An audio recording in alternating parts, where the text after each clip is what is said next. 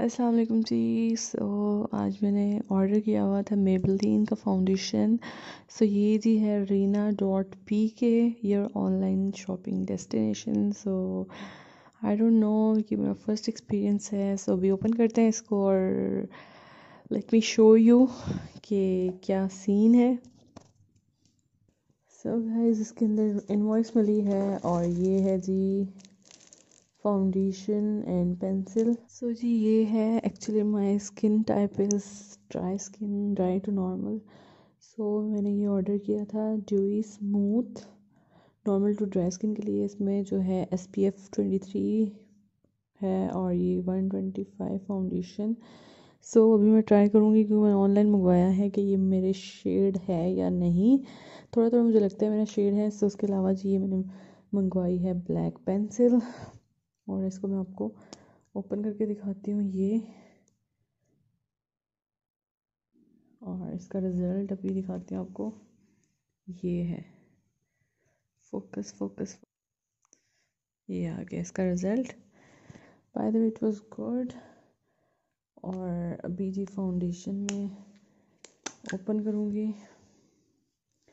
ये फाउंडेशन है और अभी मैं फ़र्स्ट टाइम इसकी मेबलिन की प्रोडक्ट यूज़ करने लगी हूँ जो है फाउंडेशन सो ट्राई करते हैं कैसा है। सो जी, ये है इसका लिक्विड फाउंडेशन और ट्राई करते हैं कि कैसा है।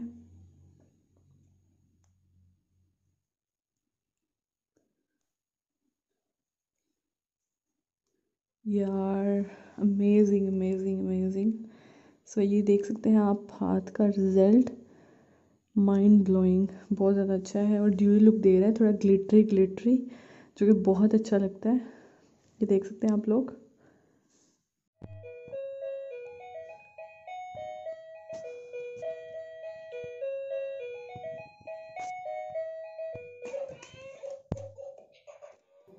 सो ये है जी मॉर्निंग का टाइम और यहाँ पे है जो है हसन के बाबा ऑफ़िस गए हुए थे तो इसको मैं जो है, ये इसका पियानो दे देती हूँ सो इसको इसका ये फेवरेट है सो पियानो बजा के खुश हो जाता है थोड़ी देर के लिए और ये है जी शाम का टाइम और यहाँ पे उमैर ने कहा था कि रोल पराठे बनाओ सो चिकन जो है वो मैं मैरिनेट करके रखा हुआ था ऑलरेडी मैं आप लोगों के साथ पिछली जो है वीडियो में भी शेयर कर चुकी हूँ। उसके अलावा जो है प्याज डाला है और जल्दी जल्दी से जो है हम रोल पराठे बनाएँगे और इस दफ़ा ये हुआ था कि मैंने कोई इसकी स्पेशल डो नहीं बनाई थी क्योंकि मैदा नहीं पड़ा था, सो जल्दी बनाने से जो आटा पड़ा हुआ था उसी से बना लिया और शिमला मिर्च जो है मैंने डाल दी है और इसमें जो है कोयले का मैं धुआँ दूँगी और चटनी यहाँ पे जी बन रही है और हसन जो है वो पहुँच जाता है, इसको आवाज़ आए तो। तो हमारा जो चिकन है वो रेडी हो चुका है। अब इसको हम कोयले का जो है धुआँ देंगे और इससे बड़ी मज़े की जो है वो आ जाती है टेस्ट भी आता है और एक स्मेल भी आती है। और पराठे जो है मैंने रेडी कर लिए थे सबके और अभी आगे जी मैं लाइन में ये रखे हुए हैं, जो इंडियन फ़ूड स्ट्रीट फ़ूड नहीं होता, उसकी तरह सारे साथ में जो है चीज़ें ऐड करती जाऊँगी।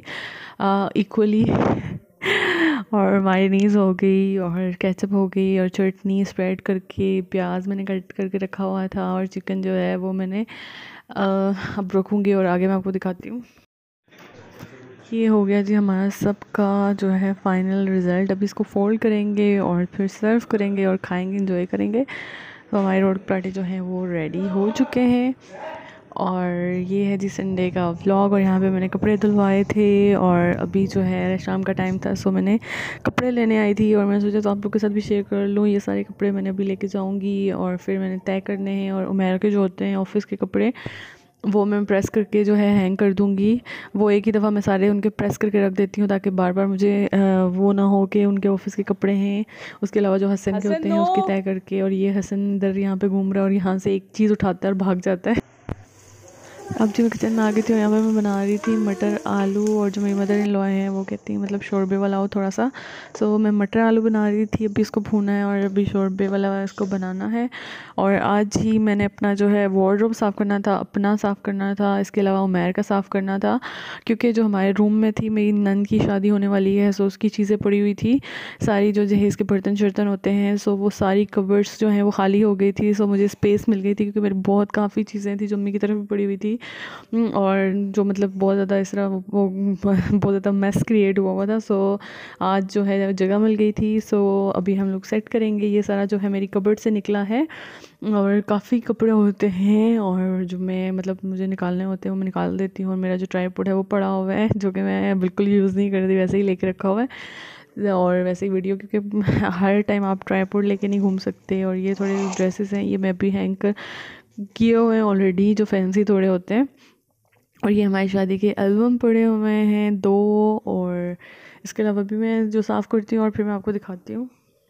इससे पहले जी ये देख सकते हैं आप लोग, सारे जो हैं कपड़े मैंने हैंग कर दिए हैं और आपको मैंने पहले भी दिखाया था, जो अम्मी का घर है, उधर भी मेरे सारे कपड़े जो हैं हैंग हुए हुए हैं और सारी कबर्ड भरी हुई है। सो काफ़ी कपड़े थे जो कि मैंने निकाल दिए थे दे दिए थे। और अभी फिर जो है सीज़न आएगा समर्स का तो फिर मैं निकालूँगी और वो मैं दूँगी और यहाँ पे सारा सेट हो गया था। हम्म, और अभी जो है ये बैग वगैरह ये मैं तो फेंक दूँगी क्योंकि बहुत ज़्यादा शॉपिंग बैग हो गया और यहाँ पे जी ऊपर बैग का है और ये जो मेरे डेली रूटीन में पहनने वाले कपड़े होते हैं वो मैंने रखे हुए हैं। सो so, हमारा जो है कबर्ड जो है वो हो गया है डन मेरी कबर्ड और इसके अलावा जो मैंने आपको दिखाया था अपने हिजाब वाला वो मैं ले लेती हूँ शिफोन के।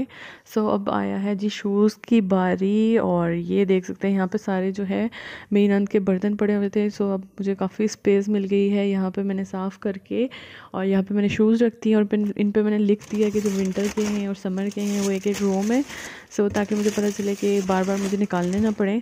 और इसके अलावा यहाँ पे जी थोड़ा सा वो गन सा वो सेम टाइप आ जाती है सो अभी इसको मैं साफ़ करूँगी।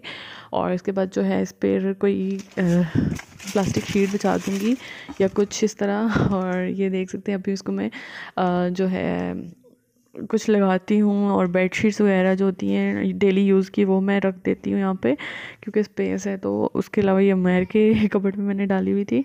सो अब यहाँ पे आ गई हैं।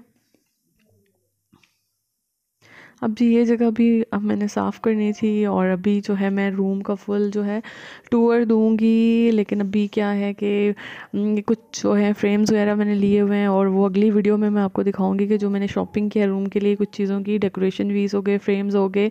सो ये जी आप देख सकते हैं कबर्ड जो है सारा साफ़ हो गया क्लीन हो गया। अभी इनके ऊपर मैंने जो है डेकोरेशन पीस रखने हैं जो मैंने लिए हुए हैं और वो मैं अगली वीडियो में दिखाऊँगी क्या क्या लिया है और इससे नेक्स्ट में मैं इन रूम टूर भी दे दूँगी।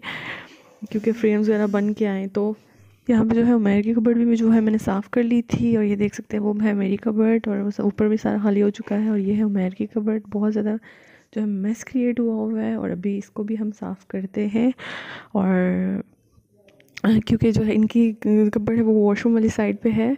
सो मैंने सोचा कि इनके भी सारा साफ़ करके रख देती हूँ। सो ये जी इनके कुर्ते वगैरह जो मैं लोगों ने दिए थे। और ये शादी की हमारी शेरवानी जो मैर की है और बाकी जो मेहंदी के और जो वलीमे का ड्रेस था वो, यहाँ पे भी जी इनका यही हाल है कबर्ड का। मतलब पता नहीं क्यों वो, क्या कहते हैं सैम कहते हैं या क्या कहते हैं, वो आई हुई थी। और यहाँ पे मैंने शीट बिछा दी ताकि कपड़े गंदे ना हो। वरना बाद में जो है पेंट वगैरह ला के वो पेंट कर देंगे। तो शीट बिछा दी है और यहाँ से जी देखिए हसन मियाँ क्या कर रहे हैं। ये लड़का यहाँ पे क्या कर रहा है हसन बेबी? सो ये आगे सारे जो हैंगिंग में उनके कोट वगैरह होते हैं और शादी के जो है ये चारकोल से वलीमे का ड्रेस जो था वो उसके अलावा मेहंदी की वेस्ट कोट और ये जी मैंने इन्हें एनिवर्सरी पे गिफ्ट दी थी वेस्ट कोट जो ऑलरेडी मैंने आपको बताई हुई थी। और ये हमारा मेहंदी का जो इनका था वेस्ट कोट सो यहाँ पे जी मैंने सारा जो है सेट कर दिया है और जो है कभी शलवार, कुर्ता शलवार जो होते हैं वो एक लाइन में रखे हैं, उसके अलावा जो टी शर्ट्स होती हैं, मैर की वो एक लाइन में रखी हैं ताकि जब पहनने होते हैं तो ईजी रहे। इसके अलावा जो है ट्राउज़र्स ये एक लाइन में रख दिए हैं और जो इनकी स्वेटर्स ऑफ़िस की होती हैं वो एक साइड पर सो ये था मेरा व्लॉग आई होप आपको पसंद आएगा सो अगर पसंद आया तो मेरे चैनल को सब्सक्राइब कीजिएगा। मिलते हैं नेक्स्ट व्लॉग में, अल्लाह हाफ़